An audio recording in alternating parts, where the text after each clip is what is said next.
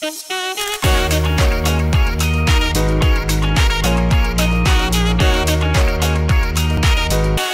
ব্যক্তি জীবনে ভালো লাগা মন্দ লাগা পাঁচটি প্রশ্ন একদম সস্তা প্রশ্ন। ফুচকা নাকি ঝালমুড়ি? ঝালমুড়ি। ফুচকা। রেস্টুরেন্ট ফুড নাকি street food street food sari নাকি থ্রি পিস শাড়ি। শাড়ি। শাড়ি। শাড়ি পরে আসলেই পারতেন আজকে। না একটু তাড়াহুড়া করে এসেছি তো বাসার কাছে এজন্য জন্য একটু ক্যাজুয়ালি চলে আসলাম। আর মামার আমার নামটা শুনে মনে হলো বেশ ক্যাজুয়াল আড্ডার হ্যাঁ, show। casually। আহ, শীত নাকি বসন্ত? শীত নাকি বস বসন্ত।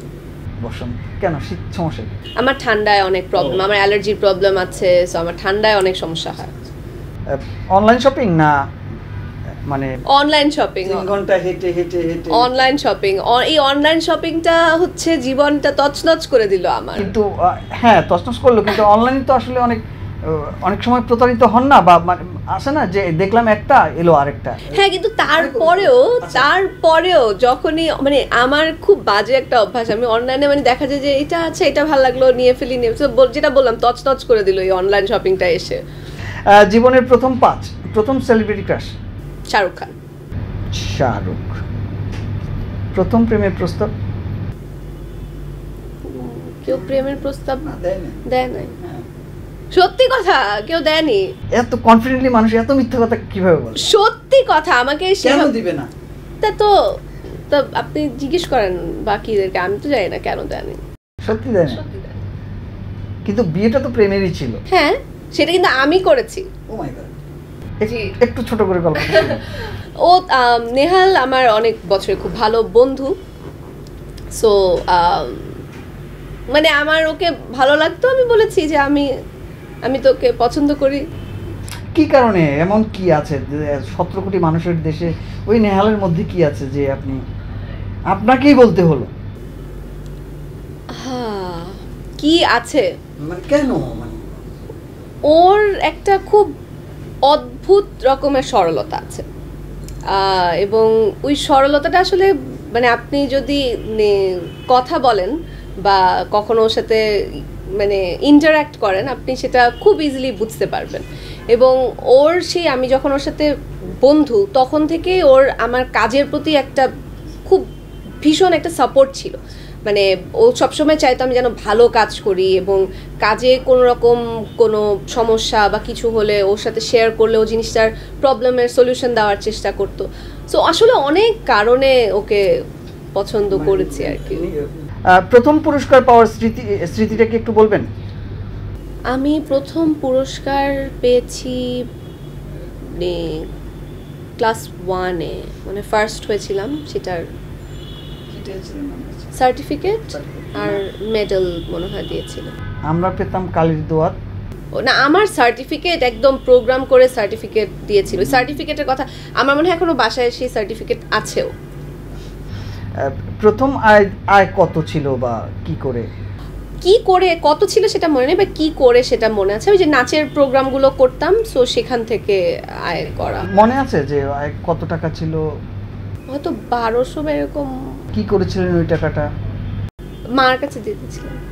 এখনও কি মার কাছেই দেন? না এখন ভাগাভাগি করে দিই। মাঝে মাঝে মার কাছে দেই মাঝে মাঝে নিজে রাখি। বাট এই নিজে রাখতে চাই না কারণ আমি অনেক খরচ করে ফেলি। হ্যাঁ আমি অনেক খরচ করে ফেলি। না ওইটাই জানলাম যে এখনও হাজবেন্ড পাচ্ছে না আর কি কিছু। মার কাছে যাচ্ছে। সমস্যা নাই। হাজবেন্ড পাবে। আছে না শেয়ারিং শেয়ার হ্যাঁ so আমরা যখন কোনো ট্রিপে যাই আমরা কিন্তু ফিফটি ফিফটি সবসময় ইয়ে করি। আচ্ছা। মানে যে যদি আমি প্লেন ফেয়ার দিই ঠিক আছে। হ্যাঁ।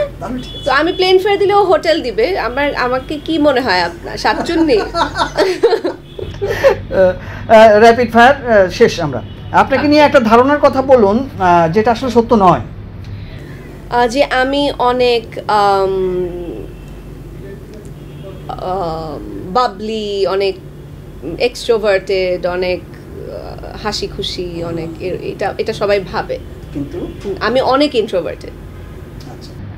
বাবলি তো বাবলি ক্যারেক্টারগুলোতে আচ্ছা কিন্তু মানে আমি যখন কোথাও খেতে যাই বা এটা আমি খুব চুপচাপ থাকি বা ইয়ে থাকি সো অনেকে খুব অবাক হন ভাবে যে আমি মনে হয় সবসময় খুব উৎফুল্ল থাকি বা সেটা না। বিষয়টা তা না। আপনার একটা গুণের কথা বলতে পারেন যেটা আসলে আমরা অনেকেই জানি না। যেমন নাচ সম্পর্কে খুব বেশি জানতাম না। নাচটা দেখে দেখলাম ও মাই আমি পেন্টিং করতে পারি। পেন্টিংটা কি করে এলো? কোভিডের সময় যখন আসলে সবাই বাসায় বসেছিলাম সো হঠাৎ করে মনে হলো আচ্ছা একটু পেন্টিং ট্রাই করে দেখি। কারণ নাচ তখন নাচ টুকটাক প্র্যাকটিস করতাম সো তখন মনে হলো যে আচ্ছা একটু পেন্টিংটা ট্রাই আমি যেমন কিবোর্ড ট্রাই করেছিলাম এডিটিং করতাম বিভিন্ন ছোট ছোট ক্লিপ এগুলো এডিটিং করতাম। সো তারপরে হঠাৎ পেন্টিংয়ের কথাটা মাথায় এলো খারাপ করি না মোটামুটি। এমনিতেই পেন্টিংয়ে কোনো প্র্যাকটিস শিক্ষা এরকম? না কিছু ছিল না। হুট করে আর পেন্টিং নিয়ে কোনো প্ল্যানিং আছে কি? নাকি ওটা আবার থেমে গেছে? আবার থেমে গেছে। আবার একটু যদি অবসর পাই তখন হয়তো আবার করা হবে। নিজেকে নিজেকে তিনটা শব্দে আপনি এক্সপ্লেইন যদি করতেন। অনেস্ট হার্ডওয়ার্কিং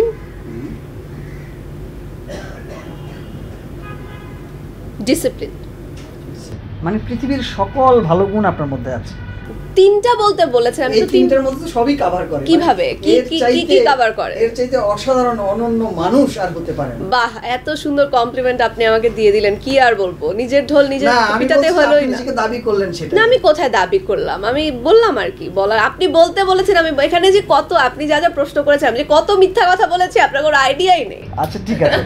পরে ক্রস চেক করব। গুগলে আপনি শেষ কি সার্চ দিয়েছেন? লাস্ট ইউটিউব সার্চ হচ্ছে এই যে এটা। কি? এটা হচ্ছে আমার পছন্দের একটা অ্যানিমের আচ্ছা। ক্যারেক্টার।